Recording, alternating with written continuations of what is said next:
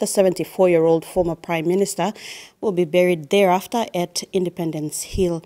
The body of the late parliamentarian will arrive from Australia this Thursday, December 31st, 2020. On Monday, January 4th, he will lie in state in the Grand Hall at Parliament House for final viewing by all members of Parliament.